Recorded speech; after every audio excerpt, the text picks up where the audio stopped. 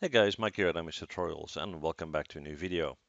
Okay, today we're going to do a short video in the constraint series. Uh, I did a couple of videos on different types of constraints and today we're going to talk about the orient constraint. Okay, it's a pretty important one, so let's get to it. Now I'm going to create an object that looks somewhat like a wheel. Okay, so I'm just going to take one of these guys and I'll hit E and I'll rotate that upwards to minus 90 and I'm going to hit Control D to duplicate it.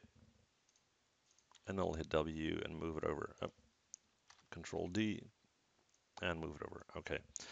So let's say these are wheels, the front wheels of a car. Okay. So what we're going to do is we're going to take this wheel, we're going to shift select the second one. Okay. And we're going to go into our rigging menu to constrain, orient, option box, and I'll just reset it, nothing else, and hit add. Okay. Now, I'll hit 4 for wireframe mode so you can see what's going on, all right? If I take this wheel and I hit E because I want to rotate it, they're rotating both because of that constraint. But also, if I want to twist the front wheels, it's going to follow as well.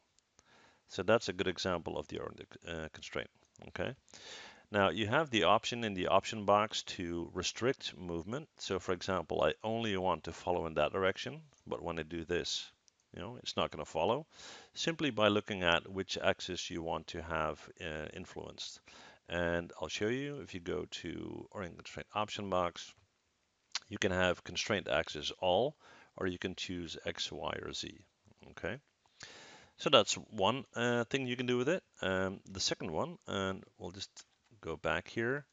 Let's say I have a NURBS control for my object. Okay, so I'll create another wheel, if you will. I'll hit 5 for shaded mode, hit E and rotate that upwards once again to minus 90.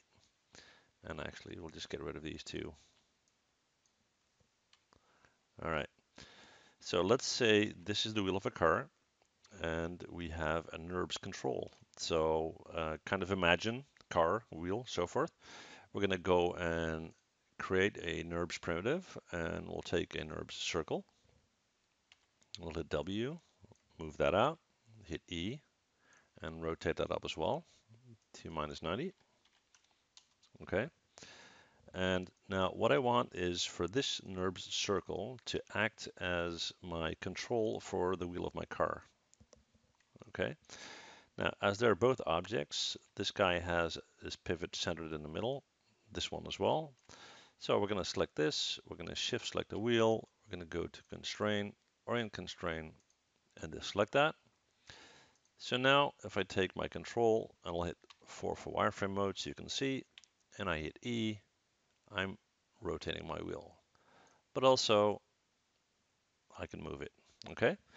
So these are just a few short examples of what you can do with the orient uh, constraint, and uh, hopefully they will help you in your modeling and rigging adventures. Okay, thank you guys for watching. I'd love to see you guys again. Bye.